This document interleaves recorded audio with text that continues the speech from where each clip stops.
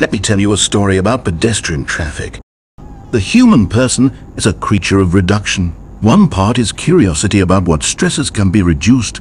That's why we have traffic lights and motor vehicles and the convenience of highways. That's why pedestrians have right of way.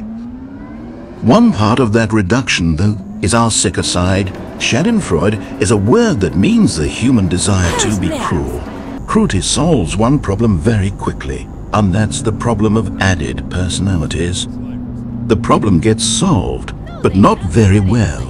It's certainly an inspiration for showing your work.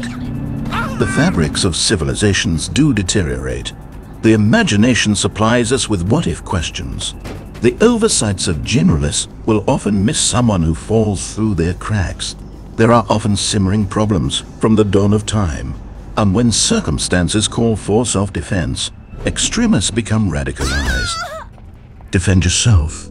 Be kind to pedestrians. Be kind to cyclists. Be kind preventively. An ounce of prevention is worth a pound of cure.